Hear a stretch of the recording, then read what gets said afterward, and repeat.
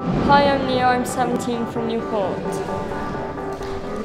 Hi, I'm Elliott, I'm 14 and I'm from Swansea. Hi, I'm Cai, I'm 16 and I'm from Caerphilly.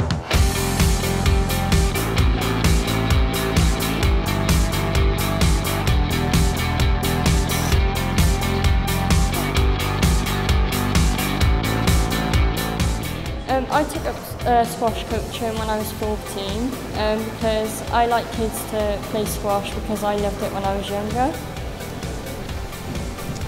I took up squash coaching when I was 13 because I wanted to see children develop in a sport that is one of the best in the world. I took squash coaching when I was 15 because I was in um, my local club and they needed help so I ended up helping with the younger children and then I liked it so much I ended up getting the qualification.